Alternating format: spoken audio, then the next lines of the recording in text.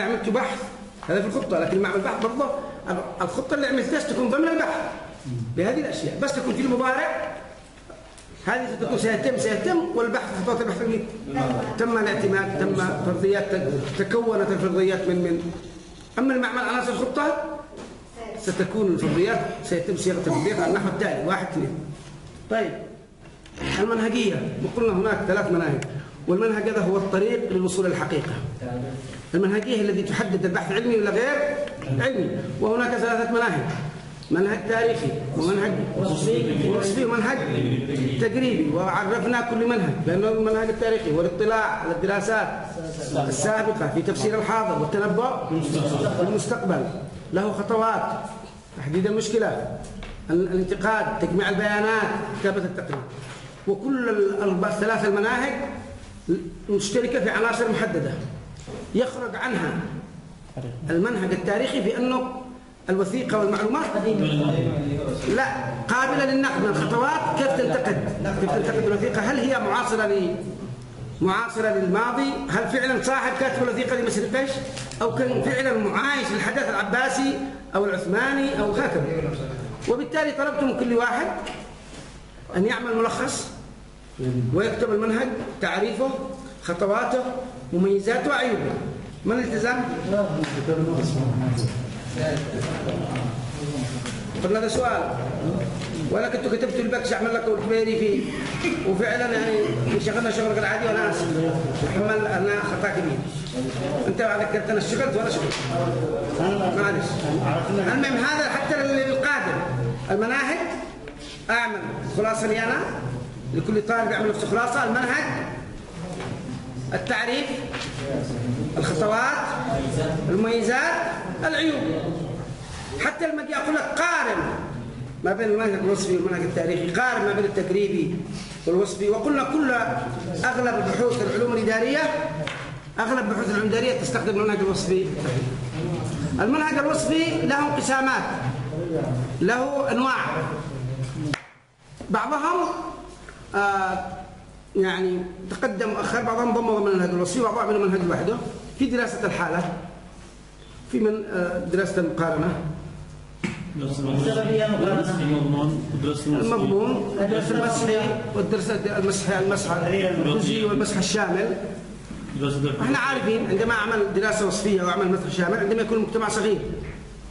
المجتمع كبير ما استطيعش ان أقول اللي بنشرح اليوم بالعينات ما ما هو الصعب ما نسينا ندخل كثير لأنه في حاجات نسيت تدخل قد لا توصل ما تفهموها وبالتالي إحنا شرحنا أنواع. وقرنا التجريبي الأبحاث التجريبيه التطبيقية يدرس آه دراسة أثر العامل المتغير المستقل على التابع من خلال إما تجارب معملية أو تجارب ميدانية.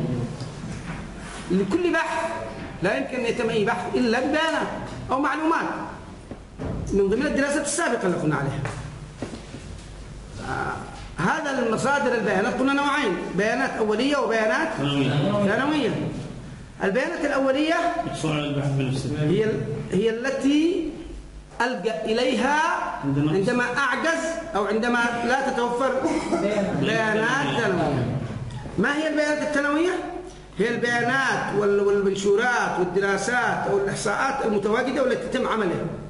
سواء من قبل أجهزة حكومية أو من قبل الشركة أو من قبل المتواجدة في الإنترنت أو كتب أو مجلات إلى آخره.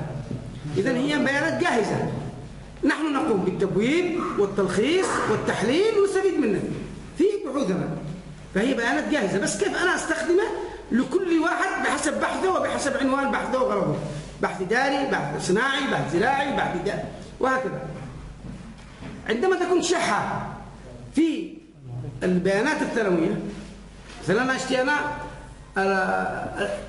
اثر الاجور على الاداء المؤسسي في مؤسسه كذا دراسه حاله مصنع كذا اي دراسه حاله من ضمن المنهج الوصفي قد لا تتوفر بيانات وأنا اشتي ادرس حالات مصنع كذا هل سعيد مثلا انه مصنع سمن الصابون هنا تلتقي للبي... تلقى البيانات الاوليه الاوليه البيانات الاوليه لها ثلاثة وسائل اذا قسمنا بهذا الشكل يتكلم بنا بنلم المنهج مصادر بيانات ومصادر جمع بيانات أولية وثانوية واللي اعتقد كانت مكتوبة. بيانات أولية وبيانات ثانوية. البيانات الأولية لها ثلاث أدوات. اللي هي الاستبيان المقابلة الملاحظة. إذا ثلاثة عناوين رئيسية مهمة جدا في أي امتحان. إذا إحنا قررنا الامتحان. ومهمة جدا لأي باحث فهمها الاستبيان المقابلة إيش اللي يهمنا؟ لما يقول لك قارن. كذلك نفس الطريقة نفس المناهج اللي تطلبها منك سنتكلم اليوم مش أعمل لكم الفرشة كاملة لكن أيضا مهم جدا أن أكون عندي بدون ما أحفظها فهمي أعمل لي كده خريطة أقول البيانات الأولية تنقسم إلى استبيان مقابلة. ما هو الاستبيان؟ ما هي المقابلة؟ ما هي الملاحظة. وبعدين آه مكونات الاستبيان مكونات آه مميزات وعيوب. الشروط الواجب اتباعها في كل في كل أداة. إذا شروط وتعريف ومكونات. وش نبدأ الآن نفهمه؟ لو عملتوها أنا كذا طبعا قد البعض يتفاوت من شخص لآخر بعضهم يستطيع أن يلم المطلوب والبعض يعجز. يعني نتناقش. نقول لك من تجيبه؟ لكن حاجة أنك تحاول طريقة التلقين أحيانا كلها ما تؤديش للغرض المطلوب. لكن الاستبيان. كيف تجي طريقة الأسئلة؟ إذا هي نظرية. وكيف الاستفادة العملية؟ طريقة الاستفادة النظرية الاستفادة العملية إننا كيف أصمم استمارة الاستبيان؟ وما هو الاستبيان هذا الاستبيان عبارة هي أداة من أدوات جمع البيانات الأولية. إذا ما هو الاستبيان؟ هي أداة من أدوات جمع البيانات الأولية لغرض حل مشكلة الدراسة. ليش نجمع البيانات؟ عندما لا تتوفر البيانات الثانوية إذا شعيب البيانات الاستبيان هي أداة من أدوات جمع البيانات. من؟ الثانوية ولا الأولية؟ الأولية خلاص. لغرض إيش؟ لغرض حل مشكلة الدراسة أو المشكلة التي مشكلة البحث. لغرض حل مشكلة البحث ليش؟ لعدم توافر بيانات لعدم توافر بيانات أو دراسات ثانوية أو لتوفرها بدرجة شحيحة وبدرجة قليلة قد لا تفي للبحث يعني يعني هو ليش نعمل الاستبيان؟ لعدم وجود بيانات. آه، أولية ثانوية أو لقلتها أو لشحتها قد تكون البيانات موجودة بس قديمة قديمة قديمة لغرض أيضا إثراء البحث والمعرفة وسط من الميدان أفضل من البيانات الأولية. أحيانا أنا أقول لكم في رسالة هنا في رسالة نستخدم العينة واستخدمنا بحوث وكان يكتفى يكتفى أننا ممكن ما استخدمش استبيان. لكن الاستبيان طلع لنا شغل أكثر قرب عن الواقع له مخاطر وله محاذير. له مميزات وله عيوب. متى نستخدم الاستبيان؟ ومتى نستخدم الملاحظة؟ ومتى نستخدم المقابلة؟ وما هي مميزات كل كل كل أداة؟ وكيف تصمم على كل أداة؟ الاستبيان أولا لا يصلح للمجتمع الأمي هذه قاعدة أساسية نتفق عليها. ما ينفعش ن... أيوه. ما ينفعش نعملها المجتمع أمي ما يقرأ ولا يكتب. أو المجتمع ما عندوش الثقافة الذي ممكن يجاوبنا. المقابلة تنفع. تنفع لي نموين نتكلم شو مشي كده معاهم بطريقة أساسية. الملاحظة قد تكون ملاحظة بالمشاركة وبدون مشاركة.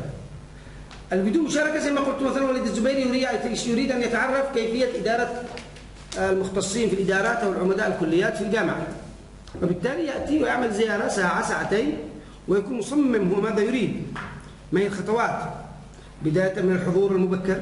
حتى الخروج المتأخر كيفية الإدارة كيفية صرف العملاء اشتراك بدائل البنوك مدراء البنوك وكذا أنا أقول بشكل عام. كيف يتصرف كيف يتعامل مع العملاء كيف يحل المشاكل الإدارية كيف قدرته على امتصاص كذا وهكذا. ويخرج بعدين من نتيجة يقيم أداء العاملين في المنظمة أو إلى آخره. بالنسبة للمشاركة أن تكون نفس المبحوث. واحد يشوف هذا السجناء إذا يعمل نفسه أحد السجناء يعيش معاهم.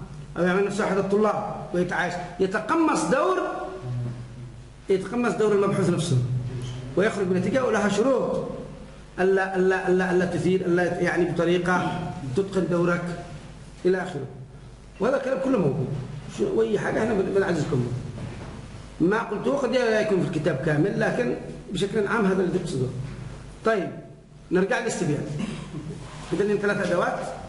استبيان مقابلة هذه تصلح؟ للمجتمع الذي يقرأ ويكتب هذا لا يصلح للمجتمع. آه يعني المقابلة نستخدمها ح- أساسية أساسا في عملية آه عندما إذا يكون المجتمع أمي يقرأ ويكتب اضطر للمقابلة.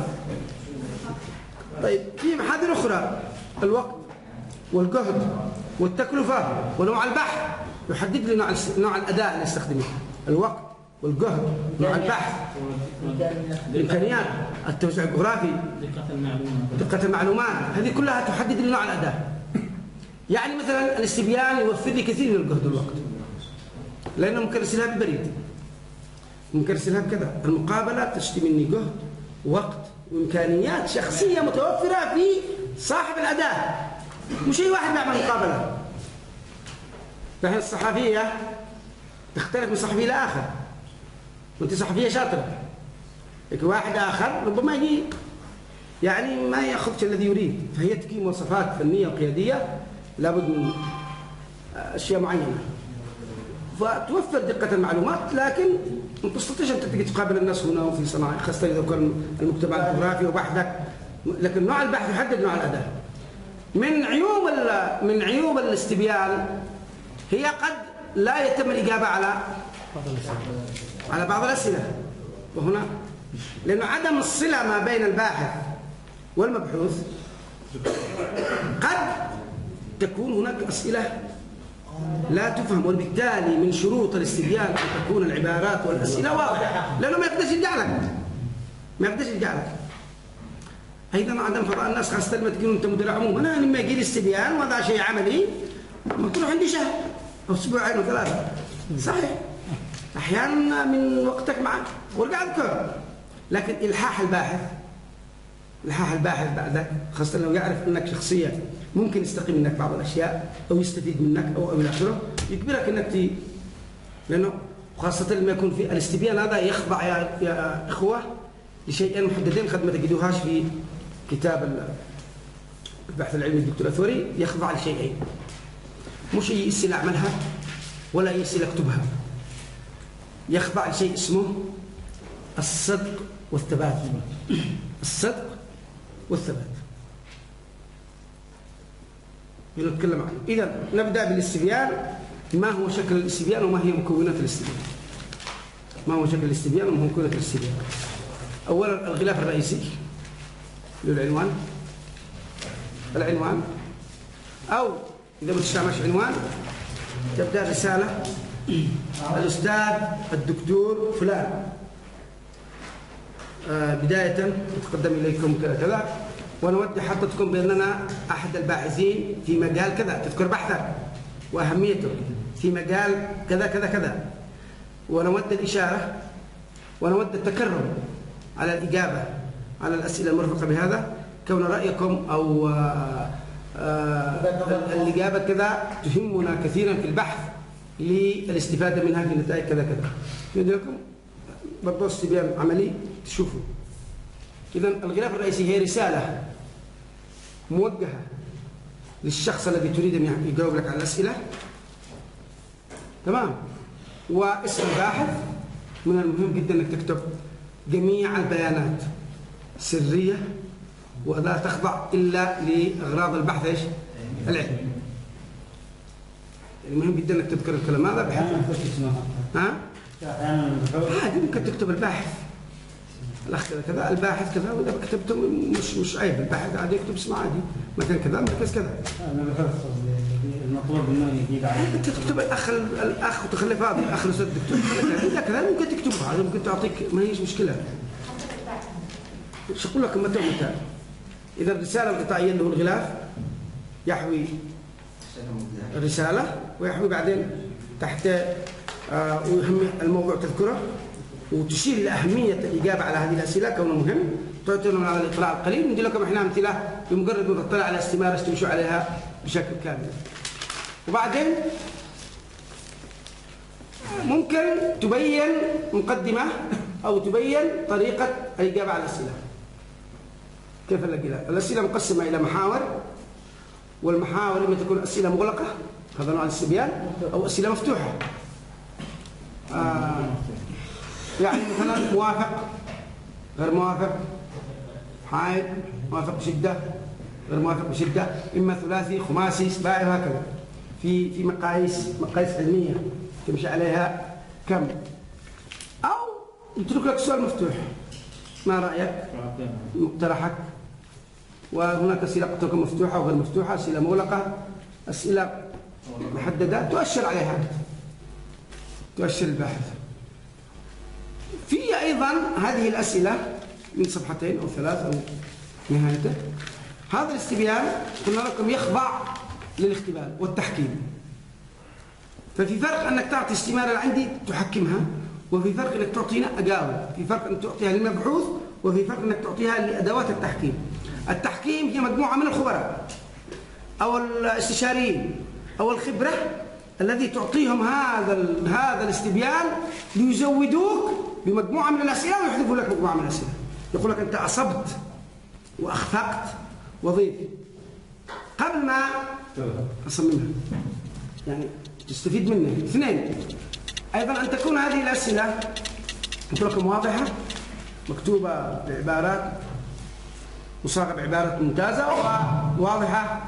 بحيث لو ما التقتش بالشخص نفسه ما ما لك يستطيع أن يجيب عليها غير قابله للغموض أو الاحتمال لاكثر من إجابة. الابتعاد الابتعاد عن الاشياء الأسئلة الجارحة أو الأسئلة الإيحائية أو الأسئلة المحرجة. ابتعد عنها بقدر الإمكان لأنه هذا بحث علمي. ثانيا أن تكون مضمون هذه الأسئلة متعلق بما يخدمك في مشكلة البحث.